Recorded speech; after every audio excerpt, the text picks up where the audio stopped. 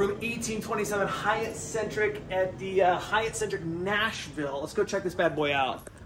Look at these views. Clearly it's pet friendly. Uh, that's my dog Maggie right there. Here with my buddy Dave. Uh, you can immediately see there is a nice little coat closet here. Record player. There's my little check-in bag. Um, we booked this with 20,000 Hyatt points out of Dave's account. He's globalist. He had some sweet upgrades that he was looking to burn, popped up to a standard suite, and they cleared us into this premium suite. It, the views are just amazing. Let's, let's, let's flip it back around. You can see over here, if you're entertaining some people, how nice is that? You got a wet bar, coffee machine, a couple of extra waters. Looks like some dishes over here, but this, you know, you obviously have a little bit of a bar action thing here as well. Um, look at this view. I mean, look at the view. Right down to the baseball field. I think is that a baseball field? No, no, it's not a baseball field. It looks like a, uh, a big performance art thing. And the uh, river's over here. I mean, look at that view coming back around. Look at the suite.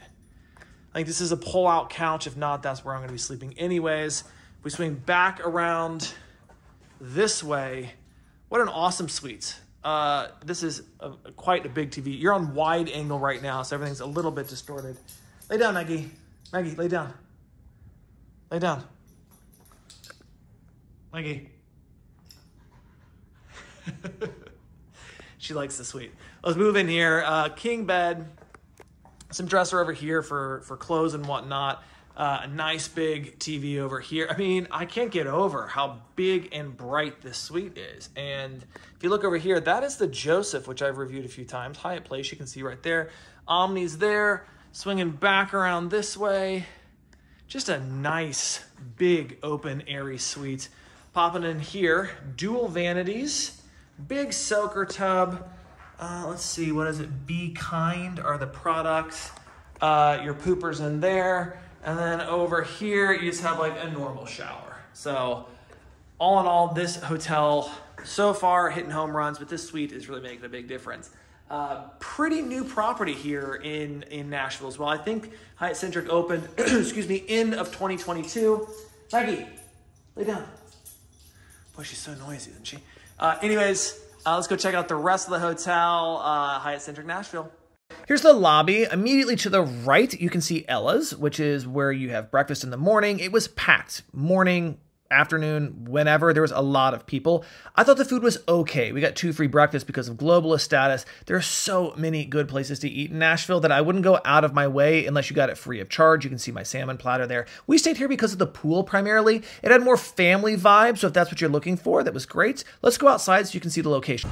So you can kind of see here, I'm walking towards the Hyatt Centric now. I'll flip it around for you. All of these cars are going down to Broadway, and then that is the Hyatt Centric. It's right next to the Hyatt Place. You see kind of over there, that's the uh, Joseph, but very good location.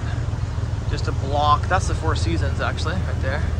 So just a block off of Broadway.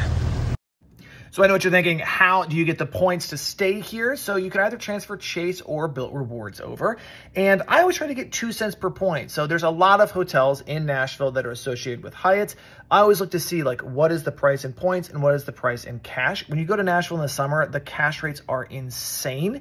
And this is a category five hotel. So they will range between 17,000 and 23,000. You can see right here, they're 20,000. And then if you did have suite upgrades, you could apply those, or if you're paying cash, 6,000 points per night, and you could end in a beautiful suite. Hope that helps.